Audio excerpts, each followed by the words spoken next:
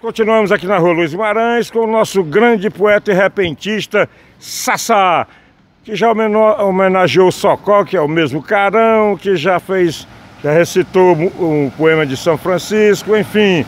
Agora ele vai homenagear o Peba. Quem é que não sabe o Peba? É aquele bichinho parecido com tatu aqui do Nordeste, né?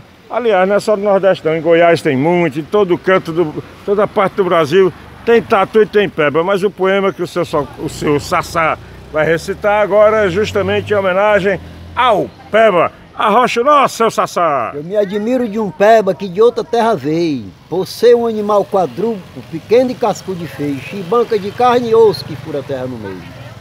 Tá aí, senhores, desta feita o poema em homenagem ao Peba, o, poe o poeta nordestino, o poeta cearense, homenageia a todos, inclusive Peba! Valeu Deus, valeu Jesus, valeu seu Sassá por valeu, homenagear valeu, o nosso queridíssimo e amado Peba, Peba, animalzinho lindo, valeu Sassá.